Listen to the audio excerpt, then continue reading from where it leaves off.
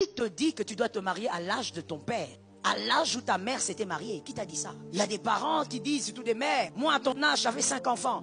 Mais madame, mais voilà pourquoi tu es énormément blessé. Tu ne vois pas comment tu me fatigues à l'église? Voilà pourquoi tout le temps tu veux que je te reçoive au bureau, tu veux que mais tu me fatigues. Pourquoi? Tu t'es marié beaucoup trop tôt, tu n'étais pas psychologiquement prête. Ton premier enfant tu le fais à 18 ans. Est-ce que tu sais quel, genre de blessure aura une femme pareille? Après autant d'années de mariage Voilà pourquoi tu voyais nos mères avaient toujours des chansons mélancoliques. Mariée à 17 ans, mariée à 16 ans, premier enfant à 17 ans.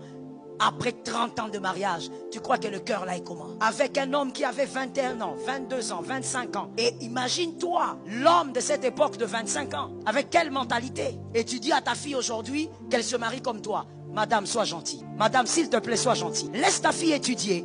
Laisse ta fille s'assumer et laisse ta fille faire le choix de sa vie. Laisse ton garçon faire le choix de sa vie. Voilà pourquoi tu, tu as fait grandir ton fils avec un esprit.